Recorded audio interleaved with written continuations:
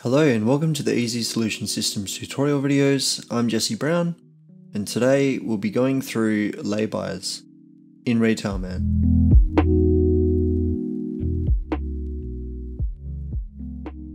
To enable the lay-by, we go to Maintenance, System Setup, Point of Sale, and here you can see there is an option, Allow Lay-by Sales.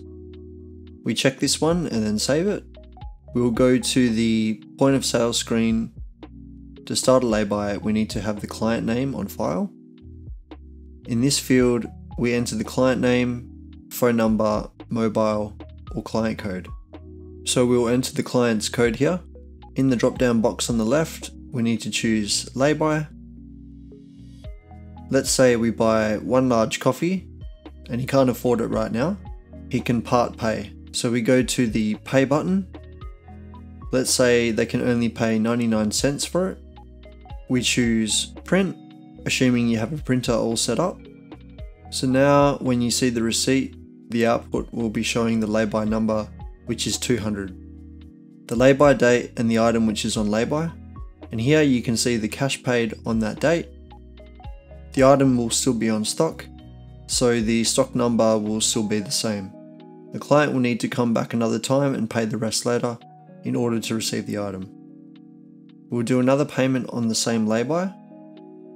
If we choose lay-by again from the drop-down box and press F7, it will give you all the outstanding lay-bys.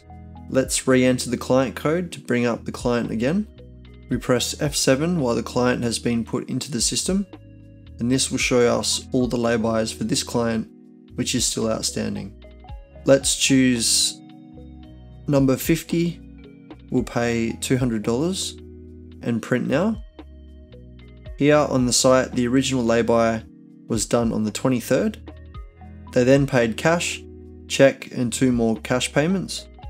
This way you can see all the transactions that were made on the item. This can be done over weeks or months if you'd like until the payment is finished.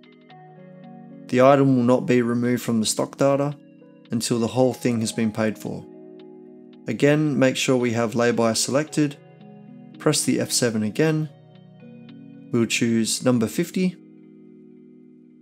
Let's say we pay it all on check. Once you either pay or print it, the system will take that item out of the stock count where you can exchange the item to the client. Notice here that once the final payment has been made, it has been changed from lay-by number 50 to invoice number 50. The lay-by is an invoice but with a flag on it which says it's a lay-by, but once it has been paid, it becomes an invoice.